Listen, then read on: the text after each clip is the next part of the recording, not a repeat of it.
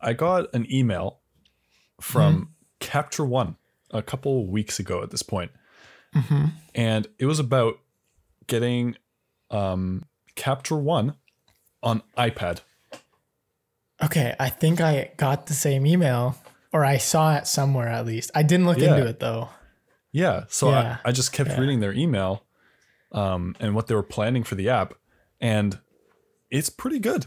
And Mm. honestly, you you kind of knew when we were in school what my kind of goal was because I had my iPad and my laptop, right? Mhm.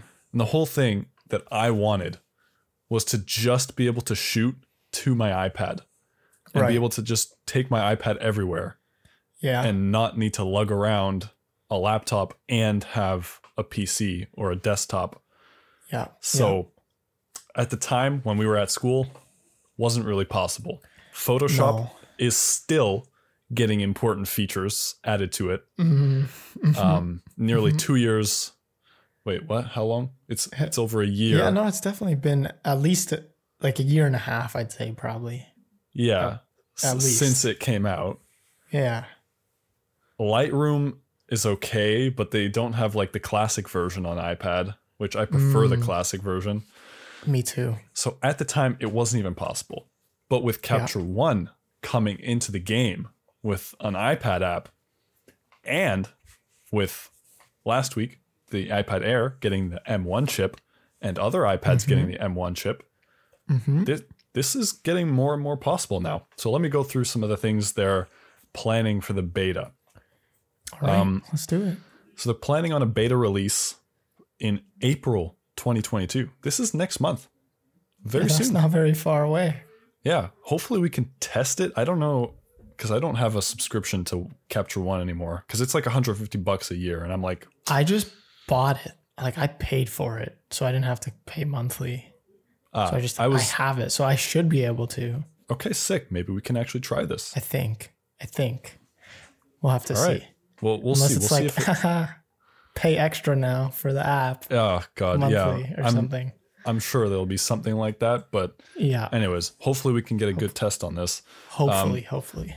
Some of the features they're looking to include is tethered shooting directly into Capture One.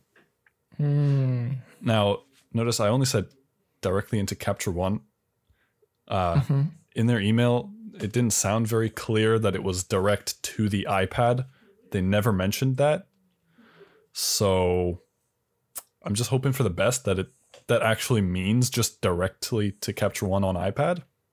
I mean, I would imagine if they're saying it in the email about Capture One for iPad, Yeah. that it does mean that. It was just really weirdly worded. Okay. That's that's just so I, I got kind of thrown off. But we'll see. We'll see. right. Um, you can use layers and masks just like on desktop. Okay. That's okay. that's that's pretty nice.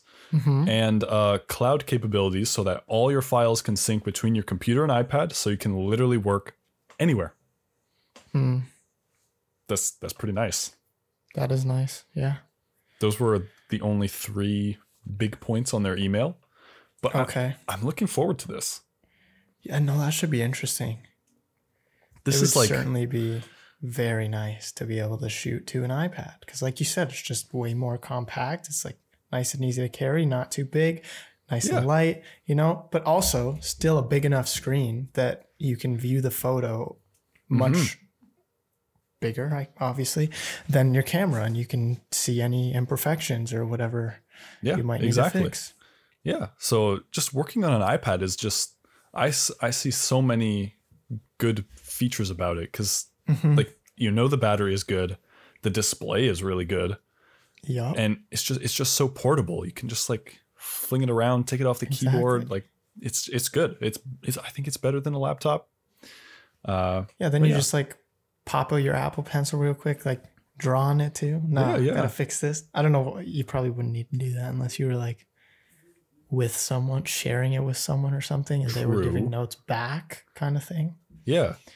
So, so that might not I mean, be that. I mean, look at that. We've hopefully we'll capture one. Please don't leave out important features like Adobe just did with Photoshop. Yeah. Make yeah, sure this yeah, is yeah, nice, made well, for professionals. I mean, they're a couple years later, right? So maybe they yeah. were just perfecting it. That take notes, so that taking notes. So yeah, exactly. So it's all beautiful good. when it comes out. Yeah. Yeah. All right that should be That's about it for for my topic. I all right.